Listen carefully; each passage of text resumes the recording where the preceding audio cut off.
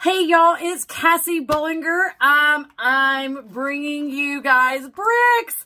So this is the holiday collection bricks that were just released yesterday. Um, this is Maraschino Sugar Cookie. Oh my gosh, this is amazing. This um, came out last year in one of the whiff boxes and people were buying that whiff box just for a bar of this. And now it's available in brick.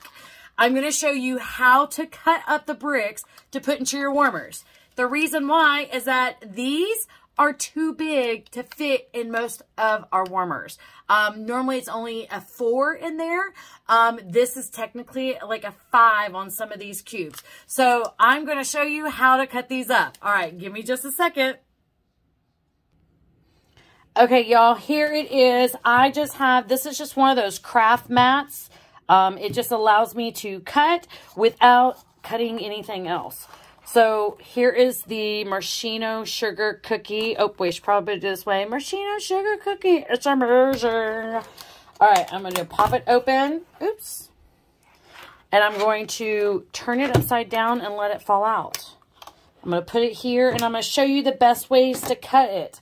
Now, you can break the actual cubes up with your hands. So I can show you that. We can just pull some off like that. Or I have this crinkle cutter that I had gotten off of Amazon. Um, it basically is to cut like food, um, potatoes because of the crinkle cut. Um, but it's great to use on wax. Um, and again, I just got it off of Amazon. Um, so we're going to take these cubes here and we are going to cut them. I'm going to cut in between. And then for each one, there's going to be different ways that you can cut. What I'm going to do is I'm going to actually cut this one into threes.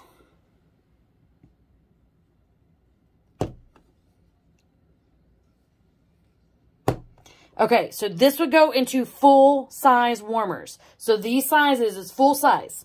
Okay, if you have a mini warmer, you need to cut them in half again.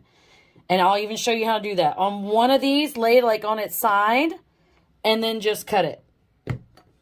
So then one part would go in the mini warmer. So this would be roughly mini warmer. These are full size warmers. Um, we're going to cut this one also same way into three. And then this one, because it's bigger, we're cutting this one in half. Okay. So there's a three. Now on the ones that are fully square, look at that. We're going to cut this one into fours.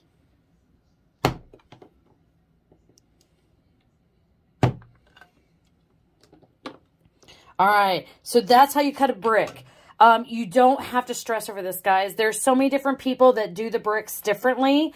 Um, when it's whatever's left over, I just put it back into the container. Now, these cut ones, if we didn't need all of them, then you could throw them back in here as well. Um, there are other consultants that uh, put them in bowls or mason jars.